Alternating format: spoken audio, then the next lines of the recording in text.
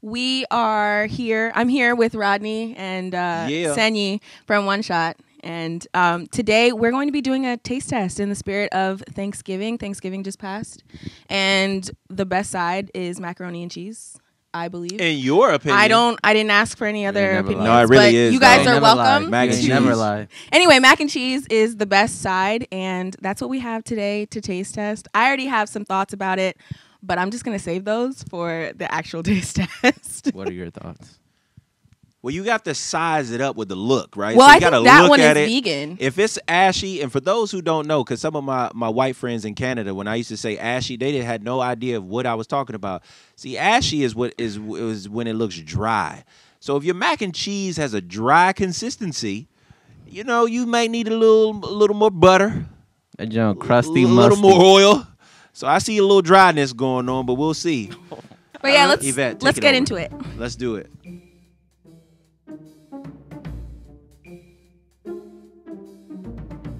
So they are still eating. Um, clearly, look at Rodney. He just finished the plate. We gotta make sure it's got all the. You forgot a you forgot a couple. Somebody give him a spoon. That's what he needs. Um, thoughts on the first mac and cheese? I think it's vegan just from looking at it, but also tasting it. The cheese did not taste like real cheese. You know, cheese like has. I'm I love cheese, so I would know. But cheese is like really stringy, right? And it kind of like melts in your mouth when it's melted. Um, this cheese kind of was just there. All right, now now listen to me. Uh, as you can see, I'm a uh, whoever made this. I just want you to know there's no beef. It's gone. Right? Uh, it was good. It was it was okay. Uh, I will say this. Definitely, uh, definitely, the presentation wasn't the greatest. Right? There was no, there was nothing that made me just want my mouth to water. Uh, amen. It was kind of bland. It was kind of dry looking. The taste, however, it was all right.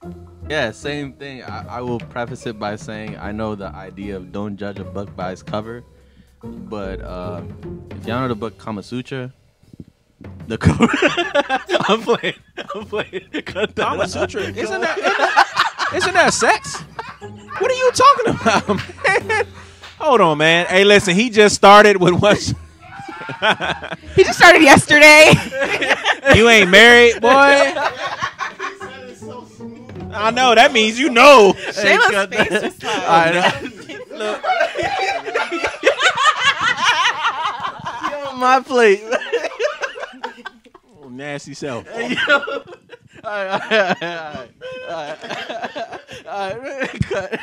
No, no, my, my real take is that um no, don't judge a book by its cover, but Don't touch it with the fork if you this ain't is gonna eat it. Nah, I'm a, I, all right, go ahead, bro. I think it's it's a little on the on the bland side, uh, but the cheese is kind of like crackly. Look at my boy on my plate, though. Like you vulture. But um, yeah, nah, it's a little on the like flaky. Bl- I don't like that. I like my mac and cheese to be like moist. All right, part two. Let's go. Um, okay, so this one I think is the homemade, not vegan mac and cheese. I have high expectations for it. Um, I will say I have seen mac and cheese that looks like this presented very well, and then it just falls flat. So, you know, I see some spices in there, so I'm I'm very optimistic.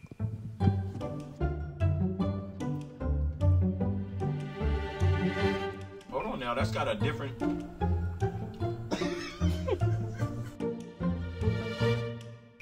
A different vibe. Yeah. That's a different cheese. What is that? Yeah, what kind of cheese is this? What is that? Uh, feta? What is that? Maybe like blue cheese. Huh? That's what Blue? is. Yeah, yeah, yeah. Oh, It's giving like blue cheese. that's right? exactly what it is. Who? Blue cheese. Somebody need to tone down the creating. You, that, that's not the time to be experimenting, man. I know this taste. When you in the kitchen for Thanksgiving, you gotta come with the regular, the regular playbook. You can't be off brand and off script now. This ain't the time to run trick plays and punt plays and letting the quarter the, the, the quarterback be wide receiver. You got to stick to the playbook. That was strange. I think I might have to switch my switch what's going on here. Yo, what? Yeah, bro. I don't know. That had a weird little. It's like a. It's like a. Man, I don't know. It had a very sensual look at it, right? Very sensual to look at it. Then once you just see that, that'll preach right there. Some things, amen, in life will look good on the outside, look very tempting and pleasurable. Like the world's culture. Like the world's culture. But you taste that mug, and your breath gonna be smelling like blue cheese and Gouda. it had to be blue cheese. I don't know what that was. There's no way that it wasn't. Notice where my fork is, y'all. I'm not diving in for seconds. You know how you wanted that to be s- good, like I really so did. bad. So good. I wanted Ooh, it that'll to be preach. so good. You wanted that relationship to be so good. Come on, somebody. Amen. But like- you wanted it to work. Why didn't you just use cheddar cheese? Like I don't understand. Sharp cheddar is still a thing. Listen, we're gonna we're gonna end this taste testing with this this sermon right here. Not everything that looks good is actually going to be good. So you might have some some some relationships. You may have some things going on. It looks good. It looks like that moist mac and cheese, but then it hits you with that that that that um undesirable taste. Amen. Y'all, y'all like- felt I hear that. No, I I felt feel I felt violated by that. Kerosene. So can I we didn't know want to which experience one? that. Tastes like Which one was kerosene. which? I didn't want to experience. I'm still tasting that taste. Yeah, I swear. It's on the back of my How did tongue. they thought that was fun? It's like when you eat onions and then your All right, I'm breath gonna just stop. smells like onions for the rest of the time. I don't know who. That's made what that cheese like. Who made that, Shun? Shun, I need to know Smash. because I Can don't we want know, somebody please? thinking that I just made fun of their hard. Listen, if you made this mac and cheese, please don't be offended by Rodney or One Shot Church. Um, I love your food. no animals were hurt. No animals were harmed in the making of this video. What's going on, One Shot friends and family? How you guys doing? It's Rodney, and uh, I'm joined with some special guests this morning, or whenever you are watching this. Uh, why don't we swing it this way? Introduce myself. Yeah. Hi, friends. My name is Yvette. Um, I'm a servant leader slash worship leader at One Shot. Oh, she all I got is today. so funny with the like. All right, I'm gonna swing it this way. What's up, everybody? I am Sunny. I'm also a servant leader at One Shot, and uh, yeah, that's it. That's all I got for you. Cool, cool. We appreciate it. Well, we appreciate you guys being here. Um, man, it's it's a it's a it's a uh, one of my favorite weeks at the time of us recording this. We are in the Thanksgiving season, and uh, to be honest with you, this is one of my favorite um, holidays. But uh, at the same time, this is this is probably going to be a tougher season for a lot of folks, especially as we're experiencing COVID nineteen. So um, I want you guys to know that we are thinking about you. Especially there are certain states that have travel bans, and uh, loved ones won't be able to connect, and uh, especially our elderly, they may not be able to connect with family members and um, and friends. So we're thinking about you guys. We're praying for you, and uh, we want to start this conversation off. Around thanks, uh, Thanksgiving and, and what it means to give thanks. But at the same time, we're going to move in and we're going to start talking about culture and the current climate of our culture, um, and also what Christ has to speak into, what Christ has to say uh, about culture and, and how we as believers should interact with Him and uh, interact and live in in this world. So let's start off with that question, um, Sunny, my brother Sunny, as it pertains to uh, your life, as it pertains to who you know God to be. What are you most thankful for? I am thankful for um, him being willing to commune with me. Just his uh, desire to be closer to me. And in that, I see it in so many ways as a proxy because everybody is thankful for their their family, their friends, and and in the same way, the reason we're thankful for them, the reason I'm thankful for my family, my friends, my community, is because these are people that are close to me. These are people that want to be close to me. These are people that mm-hmm. want to hear my heart, want to hear what is when I'm down, when I'm happy, when I'm sad, and that is who Jesus is, right? And so mm. like that is the framework of the way that he loves me. So when I say like I'm thankful for why being able to commune with my father, with my creator and his willingness to be closer to me, his desire to be closer to me. So like I see that in my life. I see that as a proxy, like I said, through my friends and my family and my community, my church. But in the same way, like that is who Christ is. That he is the one that draws closer to me. He's the one that reaches He's down. the fullness and the combination of all of Yeah. that acceptance and and and wanting you. exactly. Yeah, yeah. I Yeah. think I think that's uh, uh, I think that's I think that's powerful. Um, one of the things that stuck out to me as you were talking was the fact that Jesus was the one who initiated this. Absolutely. You know the um the the the the commune as you said. You know, um, but Jesus is the one that said, "I want you." And, and I'm going to go be the bridge to get after you. So, wow, that is a powerful thought. And even hearing you um, explain that just makes me more grateful. Miss Yvette, how about you? Um, I think the biggest thing that I'm thankful for in my relationship with Jesus would be the fact that he doesn't rush me. Um, I think sometimes I can just take a really long time to kind of get things, and I feel like in my relationship with Jesus, he's not like, "Come on, like you just need to get this." It's like he's willing to sit with me for however long it takes to kind of get to that next phase, or not even. It's not even really about like getting to the next phase, but like learning the lesson within whatever I'm going through. So I think that's what I'm mostly grateful for. Yeah, man. Oh wow, man. Just to that's that's good. That's why it's so good to express gratitude because in in my opinion, gratitude is is contagious. You know, um, when you get around people who are grateful, they rub off on you. You know, um, that that that's a big quality that we try to emphasize in our house. Um, and and as a husband to my wife Shayla, I'm consciously even last night, you know, I'm always trying to get my kids to say to see why they should be grateful for their mother and what their mother does and and and I'm noticing that now it's becoming their habit of acknowledging and being verbal with what they're grateful for. I think that's a powerful attribute and I love that. God doesn't rush you. Like he's patient with us.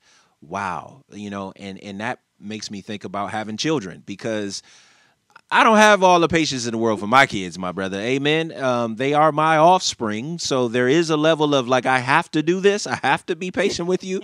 But to think that we are God's offspring, you know, we have been born into the family, adopted into the family of God. And he views us as his children. We are his children, and he's patient with his children.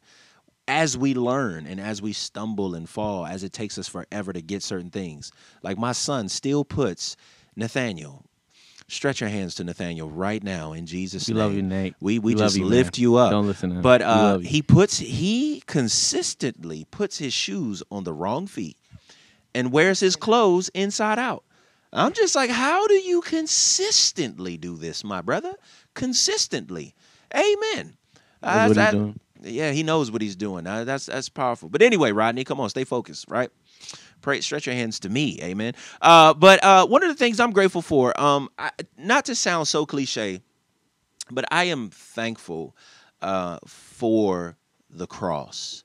I am thankful for what the cross means to me.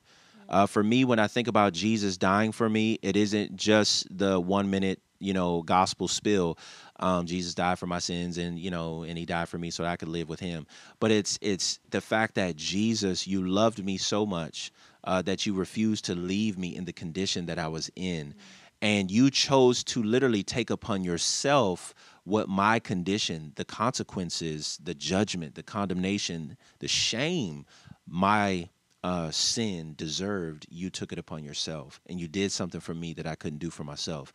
So for me, the cross is a monument um, that I can look back to for God's love for me every day.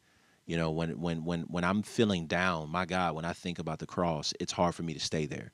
Uh, to know that the cross has given me life, the cross has given my life meaning, has given me purpose, has given me value. I'm valuable to God enough. You know, uh, my value to God looks like the cross. You know, God's love for me looks like the cross. God's uh, initiate initiation of relationship to me looks like the cross.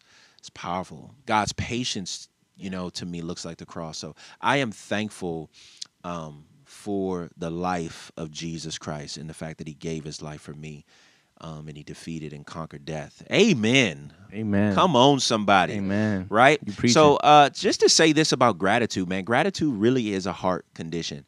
And um, I think in this season, as we and our world is experiencing um, the the the ramifications and the effects of COVID nineteen and this global pandemic, as they're saying, um, and even as people are being laid off from their jobs and uh, there's food lines all over our country, people are starving all over the world.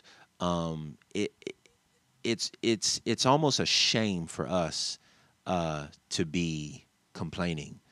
It's almost a shame for us to not think about those people and, and not appreciate what we have and where we are.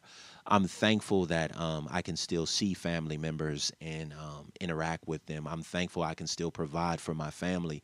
I have a job where many people are being laid off. We all have things about our lives that we don't like, right, Miss Yvette? Not to put you out there, I feel I'm in the same boat as her, but explaining about your job situation. Man. Oh, you want me to explain? No, I'm just saying. Oh, but you, yes, yes, I co-signed everything you just the, said. the way Um, she was feeling about her job, like, but it puts you back into remembrance. Hey, man, but thank God I have a job. Yeah. Thank God, literally, I can pay my bills. I can keep a roof over my head. I can feed my family. There's a lot of men and women all over the world that cannot do that. So um, praise God for that. So gratitude really has to do with our hearts and the condition of our heart. And a point that I just want to leave you guys with about gratitude is it is contagious. So practice gratitude because guess what? Other people, it will rub off on other people and it will help lift everyone's hearts, everyone's spirits, especially as we're in a joyous time, a, a time of thanksgiving, but yet for many people, a time of great sorrow. So we are thinking about you. We are not ignorant to that. Um, let's get the conversation rolling. We're going to switch gears a little bit about Christ over culture. We're we're in this series and and we're talking about um the the influence of culture, the power of culture, and just uh, the depravity that we see in the midst of our culture right now. Um, we see political division in our culture. We see moral depravity all around us. Um, there's so many different things that are happening in our culture, and we realize as believers, hey, Christ has something to say as OutKast, y'all y'all might be too young for that, but when OutKast got up on stage, they said the South got something to say. For all y'all who don't know about OutKast, I pray for you. Amen. Uh, no, I'm, I'm about playing. I'm than playing, you, but but I ain't uh. I- anyway, I'm gonna get off of that. People be like, anyway, Rodney. So the first question I want to throw out uh, to you guys is this: It is what is culture, and why is it so powerful? Who wants to jump at that first? Ladies first. Ladies, okay. Sounds like you got something to say. Uh, yeah. I always got something to say. Ethiopia got something to say. You know, you know. So Oromo, Oromo. Yeah. So And Amharic. uh, yeah, we all of gon' that. we, we're praying for Yeah, unity. Everybody, amen. yeah, Come on. amen. So, um, yo, um, uh, yeah, I think uh, culture for me is like seeing what you like. What you explained it in your sermon a, a couple weeks back, where it's like uh, our behaviors, uh, what we create, you know. And for me, one thing that was like poignant for me is like uh, how you attach yourself to the world, how you see the world. Um, and I think that uh, culture is something that is overlooked so much because we think we are so individualistic to an extreme extent. Like I feel like everybody wants to be like, oh no no, I'm paving my own path. But one thing that I thought about is as we were going through the sermon series is like, um, you know, the the Bible talks about how uh, the way of the righteous is narrow, right? Come on. But like, yeah, come on, you know what I'm saying? But uh, but the way of the righteous is narrow, but the way of the world is broad. You feel Mm. me? And so I feel like even if you are making your individual avenue uh in the world, it is that it's a part of the trillions or whatever paths that you can take. You still may be a part of a collective. collective Yeah. and you are there's a there's an end goal there's a place where that's going to take you and it's not a Mm-hmm. pre- thought. collective thought collective collective, behavior. yeah, collective Yeah. creation Mhm. all of that what you attach yourself to but that one narrow path is completely and utterly associated with attaching yourself to Christ Mm. And so like that distinction of what is Christ, what is culture, if you're like, man, I don't believe I'm a part of a world culture, look at the end, right? If you look at the end, you'll see clearly where you have been attaching yourself to. You're either attaching yourself to Christ or you're attaching to yourself to the world. Because at the end of the day, that trillion avenue uh, like lane that you're on, whatever, and you have your one lane and you're going down and you're attached to the world, then is gonna bear the fruits of being attached to the world. Versus if you that narrow path is you attaching yourself to Christ. So that's kind of like the distinction that I've been thinking and, about. and not to you know put words in your mouth, but that's what makes culture powerful. yes. It's like culture. Uh, we talked about this a little bit in uh, the the sermon was actually called um, "For the Culture," for the culture. But we talked about there's a current to culture. Like if you're not careful, like in a stream or in the ocean. I've been at the beach where you're playing in the ocean or whatnot, and then you think that you're still in front of where your beach towel and, and your umbrella is, but when you look up, you're way down here. You're like, how in the world did I get all the way down here? It was the current. The current kind of carried you uh, away from where you thought you were originally at. So so culture is kind of like that. If you're not intentional about understanding culture, culture may actually, by its current, carry you somewhere else. Yvette, what's your thoughts? I was gonna say that's a really good analogy. Um, the current with Mhm. culture. Um, I was gonna say I think culture comes from your belief system. Um, and then if I feel like if we look at culture, it's like you can't get away from culture. It kind of bleeds into like your everyday, like from. I feel like it can be generalized, right? Maybe um, there's like a culture in your town or uh, you know at your college, whatever. But then there's also culture, um, like the things that you I guess do every single day, um, the belief system that you have. I think a lot of the things that you do stem from that. Oh man, that's awesome. So uh so here's the deal. Um I think it's safe to say this. Culture, although it's ambiguous, right? Um, it's everywhere.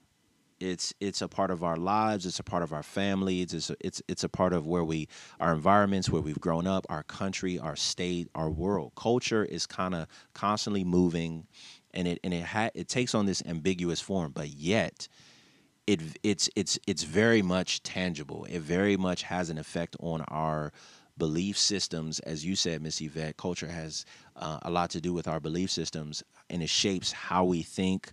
Um, it shapes how we behave, and it also shapes what we produce as as a community, what we produce as in, individuals, what we what we produce as a nation. And uh, right now, we're experiencing uh, so much political division. Um, I have friends that are on the on the far right. I have friends, uh, obviously, uh, being an African American and a minority. I have friends and family that are on the far left, and and I see how people lean in so intentionally and, and how culture has swept people away. I'm not saying that I'm better than anyone. I do get caught up um, in, in the in the in the hurrah and and at times or it's it's easy to feel like you need to choose a side, but like the scripture we talked about in uh, the sermon for the culture, Paul said in Colossians chapter three, "Set your mind on things above." It- It's almost like you see Paul trying to push our mind, push our belief systems above what's here on this earth, because he's saying, "Yo, that's reality. That's where your home is. That's where the end is." not down here.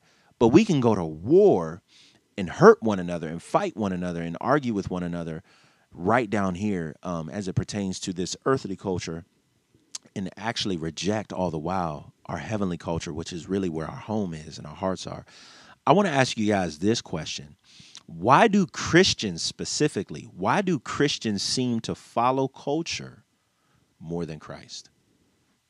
I I think um, one thing that's important to look at is um, the struggle that there is, um, especially in knowing the truth, but still struggling with our like the fact that we're still humans, you know. And I think that not I think I know that the Bible doesn't even overlook that. If you look at um, the the verse in Colossians that you just talked about, set your minds on things that are above. Um, even um, if you look at Romans chapter twelve, verse two, uh, be transformed, right? Um, there's a transformation. There's a metamorphosis. There's a there's an action to set your mind on something that is above. There's an action that is necessary. So it shows you like it doesn't discount the fact that we're humans. We struggle, you know?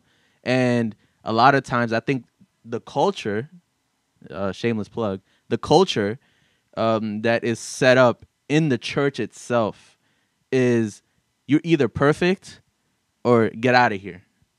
And so the fear of being imperfect, the fear of struggling with these things, which is not true. It's not a it's not a valid it's not a valid uh, statement that you have to be perfect because nobody can be perfect. But in our minds we're like, "Yo, I can't be struggling with this. I can't be struggling with my political beliefs. I can't be struggling with uh, the things that the world has to offer for me." So I you know what? I I just rather just step away from it. And then there's a fear that's created, there's a distance that's created between being um what you have been transformed to be and with your human with your carnal self, right? And so like for me, one thing that I had to get over personally was the fact that I'm never going to be perfect, right? I'm never going to be perfect and there's going to be a struggle, but that struggle is like right in the right place to be as long as your intention, your mind is set on uh, Christ, and that's kind of goes back to what I was saying earlier, where it's like you either intentionally uh, or unintentionally, where that whole idea of being lukewarm, you can unintentionally or intentionally be at- attached to the world. But me intentionally being attached to Jesus looks like me constantly letting Him transform me, letting Him put me through a metamorphosis, so I can become uh, what he has created me to be. Right. So essentially, you're saying like you know one of the reasons why Christians are struggling specifically with being swept in with the current of culture, um, or outright deliberately like you know fighting for a culture that is anti culture of heaven, is because there's this tension of in this. I almost hear you saying like there's this tug of war between earthly culture, heavenly culture yeah, you know and because we're human and we can see touch feel taste smell we tend to allow the earthly culture to overpower overpower and overshadow the heavenly culture yeah, yeah, right? And if we're not intentionally um focused on the heavenly culture which is where christ is paul said colossians chapter 3 where christ set your set your mind on things above where christ is seated at the right hand of the father where your real life is right? If we're not intentionally doing that we'll probably lose the battle in that tug of war yeah. right Yeah. I, I, that's that, that's what i was hearing you saying miss yvette what do you think I was just gonna add. I think um, it's also easier um, to kind of be in the world's culture Mm, why you than to because I feel like as soon as you have a stance on an issue, um, here comes persecution, right? So it's just like, mm, okay, so do I either speak up and say what I believe, or do is it easier for me to just be quiet on this issue, be quiet on this topic? I feel like there are a lot of topics in general that Christians don't speak about because it's just like what we some don't. of those topics you think? Um, one of the things that we were talking about last week, like abortion. Yeah. You know i feel like it's easier to just be like okay let me just be quiet and not say anything um, and not speak truth um, because it is such a it's such a delicate issue. Yeah. It's not necessarily a uh, it is a black and white issue and then again it's and then again it, it isn't you know? Yeah. But i hear i hear exactly what you're saying. yeah they're, they're these issues are not black and white so i think a lot of times it's like it would be easier if there was just like a, a guidebook on how to how to approach certain um, topics and and speak about them but i think that's one of the reasons it's easier to just hide you know Yeah, I think that's a I think that's an excellent point about persecution because um you know, quite frankly, like what we talked about, obviously uh you know, there's the earthly culture which has been corrupted by sin. We talked about this uh last week. Um there's an you know, it's been corrupted by sin because Satan um, or the devil is the god of this world or the ruler of this world. He is the dominant influencer as it pertains to earthly culture. But then when we look at um, the the culture of heaven, which is what Christ came to usher in, obviously This culture is countercultural to the to to, to the Earth's culture. Uh, whereas the Earth's culture, where uh, Jesus says, um, I can't remember the uh, chapter and verse, but where he's telling the disciples, he's saying, "You know how the Gentiles do. You know, uh, you know how they deal with authority. They they they rule or lord it over you." But he says, "But it, it shouldn't be that way with you." Hold on, and they're like, "What are you talking about?" He's saying, "Actually, in my kingdom." Those that have the greatest authority, those have that have the greatest responsibility, are actually the least they make themselves servants of all. Whereas in in the earth, everyone's fighting to get to the top so you can be the shot caller. You can be the person that answers to no one. You can be the person that just tells everybody what to do because why? You're in charge, right? So we see heaven's culture is countercultural to the earth. And if that's the case, you're going to suffer persecution to some degree because you're following, you're believing, you are you are uh, uh, propagating a culture that is not normal here on earth, right? Compassion, empathy. We all love these attributes, but is that what's normal? Is that what's uh, uh, what we see reflected in our society? No, which is why Christians get put in such weird predicaments, especially politically, because we don't fit in either category right? You know, and we want to be people want to force me into one side and say, no, no, no, you're a Republican. But then, you know, they, you know, the Republicans may want to force me into the Democratic Party because of we don't fit here.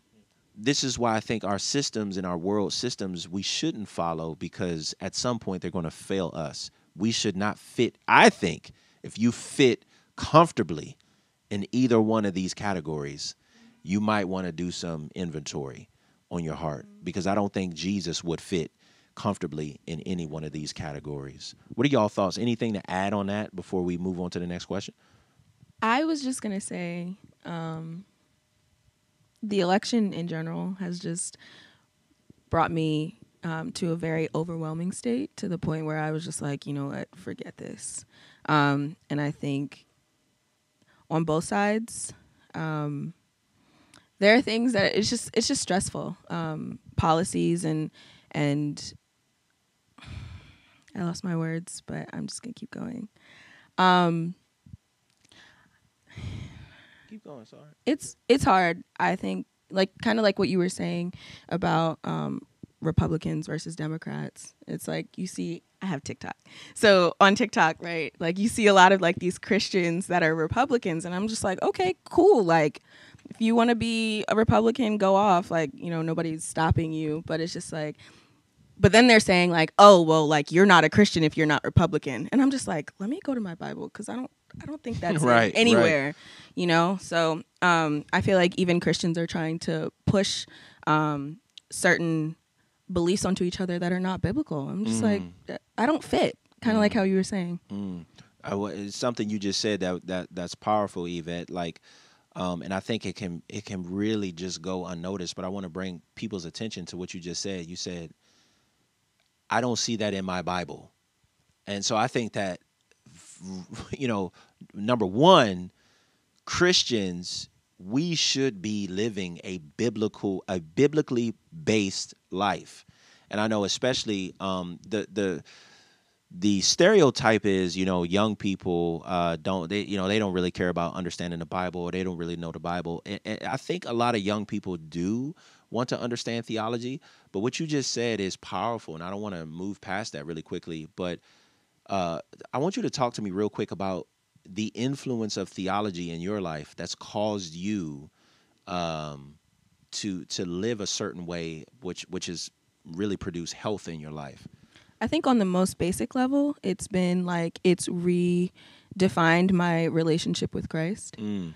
Um, just from understanding that like God died for me and loves me, and like through faith I'm saved. Like just learning that and knowing that, I was just like, wait, like this is not, this doesn't sound like anything that I've learned in church. This doesn't sound like anything that I've learned, um, you know, from the other Christians around me. So I feel like kind of being here at One Shot and just like learning more about um, theology and like learning about why it's important to understand what's in your Bible, it's it's made my relationship with Christ like a lot more okay. like, I have those like aha moments where I'm just like, this makes sense. Like there are layers, but like as soon as you start to understand what you're reading, as soon as you start to okay, well, you know, why am I why is this sentence important? Like things like that. It's just like, okay, you bring more perspective into what you're reading and you're just like this I understand a lot more now, you know. That's good. Did you feel like it didn't did, did you feel like approaching the Bible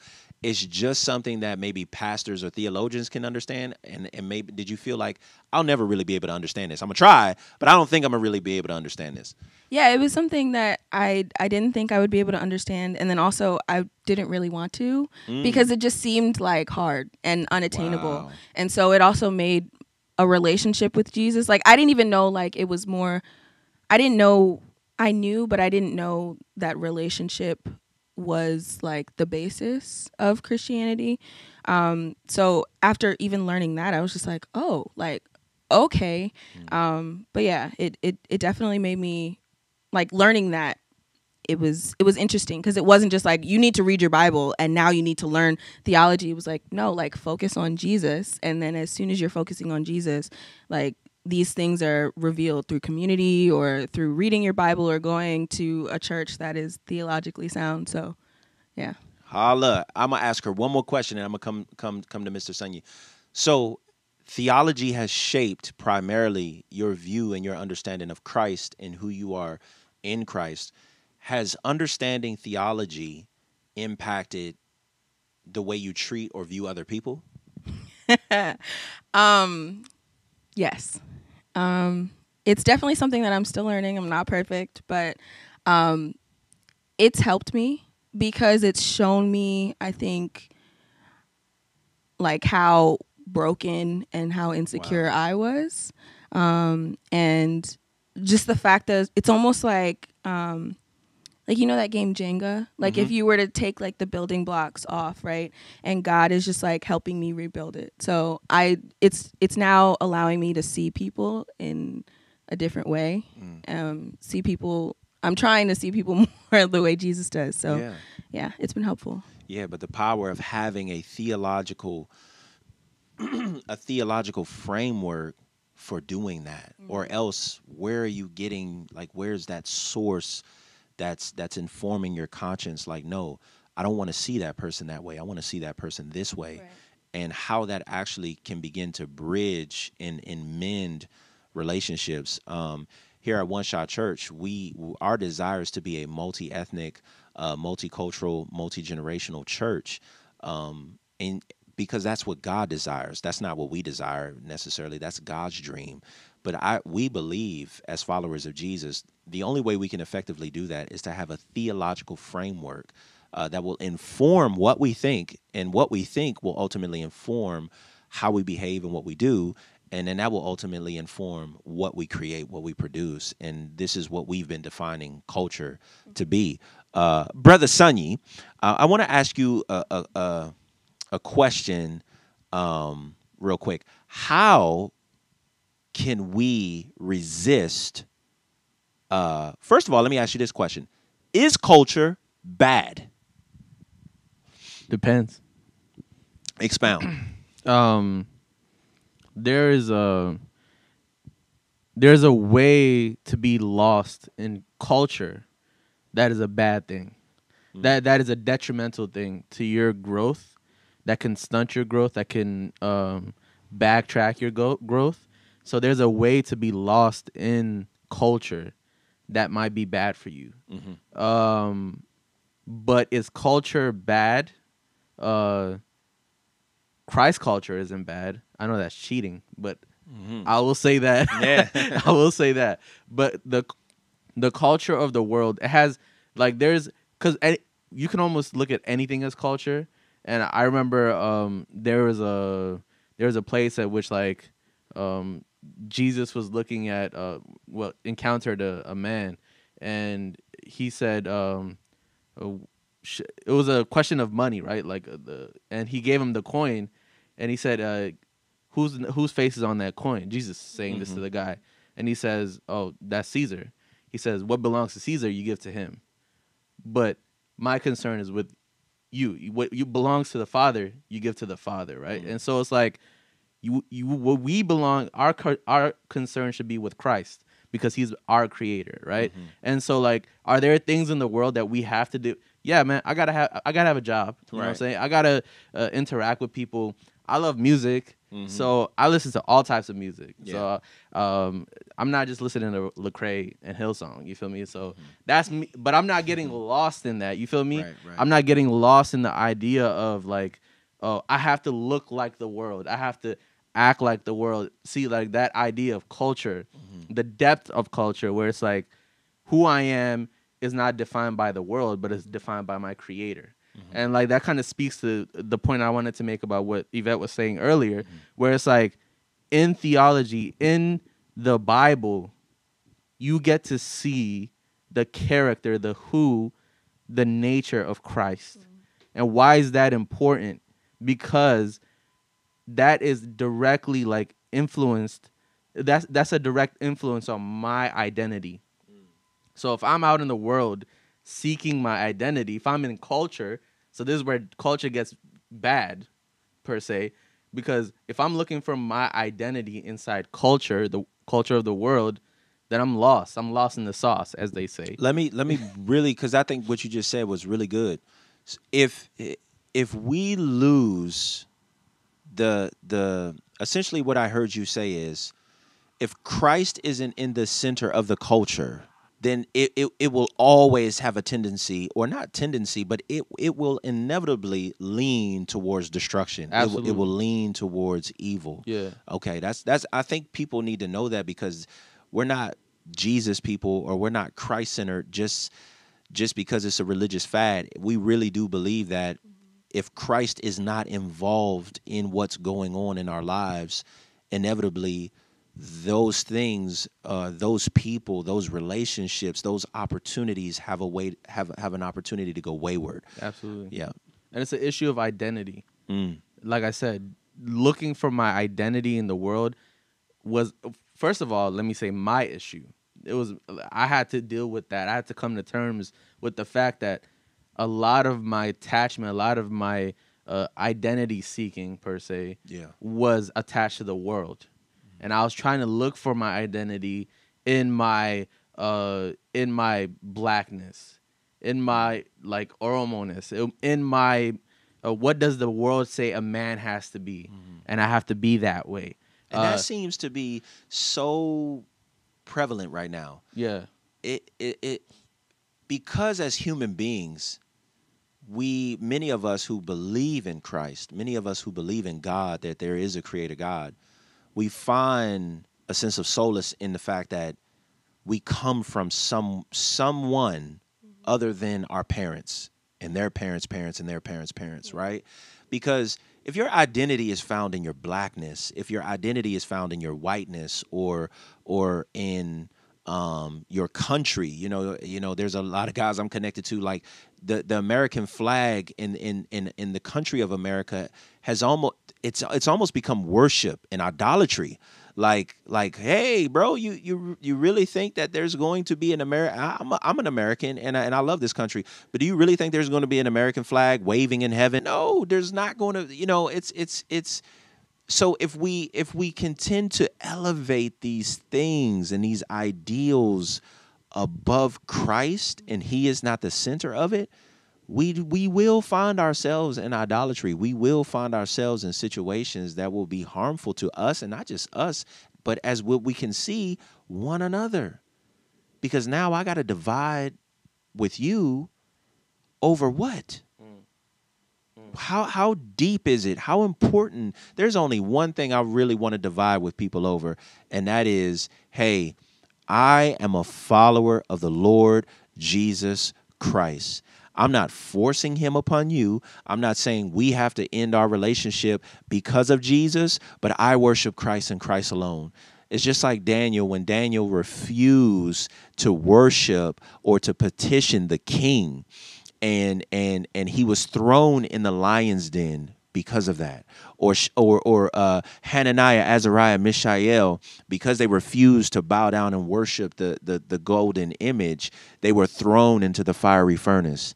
It's just like, hey, but they lived in Babylon. They were Jewish exiles living in a Babylonian society, forced uh, to to have Babylonian names, forced to learn the Babylonian culture, the Babylonian language but yet there was something about them that refused to go past the line of, hey, I'm in this culture, but I will not worship what you desire for me to worship. I will not become ultimately who you desire for me to become. I will be who God has called me to be. Even if it dep- even if my life depends upon it. And I, am so inspired by the book of Daniel. And I have one last question. Um, really, I want to make this statement, and then I'll I'll throw this question at you guys. Um, the reason why we've been doing this this series called Christ over Culture is because Christ is a messianic term. Christ means Messiah. Messiah simply means anointed one. This is this is the individual that that God prophesied about in Genesis chapter 3 uh, when he spoke to Satan and he said that I'm going to put enmity. I'm going to put division between the seed of the woman and and he is going to crush your head speaking about Satan, right? So, and then we see Isaiah and Jeremiah and all these major prophets and minor prophets prophesy about this coming Messiah who's going to rule and he's going to reign and he's going to usher in God's kingdom. The reason why we've been doing this series is because I want Christians to understand this. The kingdom of God is real. The kingdom of God has a king, and he is Jesus the Christ, Jesus the anointed one. And his kingdom has a culture. And and and although yes, we live in this earth and this earth has a culture, and some of the culture is not inherently bad, but when we begin to remove Christ and reject Christ in this culture, absolutely we will see bad things happen. But what God has called you and I to do, He's called us to be kingdom builders. He wants to bring His kingdom, His heavenly culture here on earth. But how can He do that if we've elevated culture, whatever cultural context we come from? If we've elevated culture to a place far above Christ, how can the kingdom of God be advanced? In in, in the earth. You wanted to say yeah, something. I do have something to say on that, which is like understanding. Going back to the verse in Colossians, set your set your mind on things that are above, and understanding that. Um, like earlier, I used the that verse to kind of explain how me understanding my position, understanding that I am there's something higher than me, will one humble me, uh, and two bring me to a place where I'm searching and seeing that what I'm doing, what I'm doing, what I have chosen to do on this earth is not what's gonna, you know, get me right yeah. going forward uh, to say, right? But then using that same verse and looking at it from the perspective of set your mind on things that are above, there is something that is higher than anything that we can see, touch, feel, or even experience on this earth, right? And so knowing that no culture is not the highest. Whatever you have taken and put in above, put above like Jesus, is not. It's out of place. It's out of position. Not because only because of like you putting that thing there, but also that you have like demoted. Um, not, yeah, you have demoted uh the person of Christ, the the person of Jesus, who he is, and it, that's why I, I going back to the idea of theologies, understanding the character, who the who, the who of the Father, right? The who of who God is, and and knowing that He is above all. Then when you when you have positioned Him in the right place, it doesn't matter what you do. Nobody can ever achieve per, perfection, but the knowing knowing where His position is, where His real position is, sets you to a place where you're like you're constantly chasing after that like constantly chasing after what is the most important thing in your life. Yeah.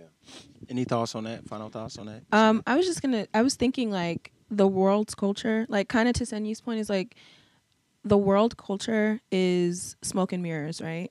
But it's also a really weak foundation, and I feel like because it's so weak, it's always changing. Why do you think it's weak? I I think it's weak because people make up culture. So we as humans, we're imperfect anyway. So our culture is not going to be perfect anyway. Um, but even as culture like changes, um, I think it leaves people feeling empty and where you might have agreed on one point, now it's just like you don't understand or you don't agree anymore. Um, and I think that kind of leads people to kind of like what Senyi was saying, like searching for something else outside of culture. That's good. Yeah, I think uh, I think I definitely uh, feel like uh, obviously uh, if you reject Christ or if you haven't invited Christ into your life, what else are you clinging to?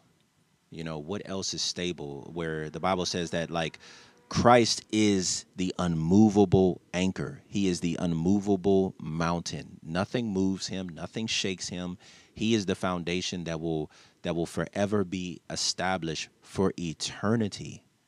So that means that if we're building our lives on anything other than Christ, we're essentially building our lives on instability. We're building our lives on insecurity. We're building our lives on something that will never give us a holistic peace and trust and confidence. Um, Sonny, do you have any th- closing thoughts um, before I share the scripture with the fo- uh, with the folks? Do you have any closing thoughts? Yeah, definitely. I think one thing to be um, said as an encouragement uh, in in all of this is knowing that um, in His might, in His position, like we I just said, like like Him being at the top of all things and all things falling under Him, He still desires to be closer to us. So He is the one that reached out. He is the one.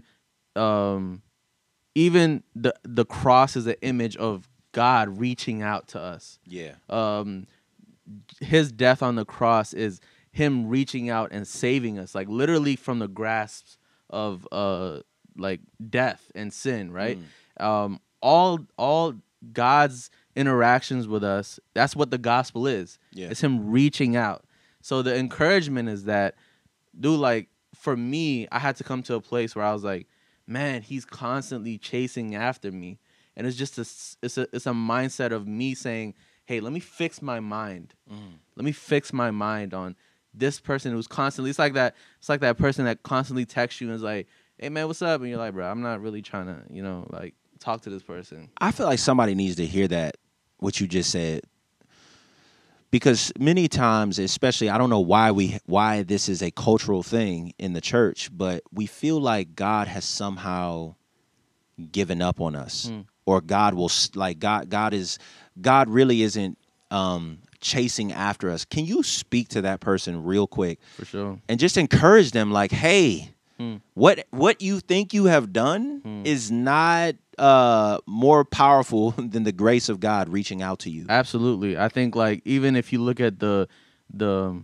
uh, my my shameless plug, uh, my sermon from last week is about uh hey like even the the sin of the of Adam didn't overtake or wasn't greater than the saving power of Christ and what Christ did on the cross, right?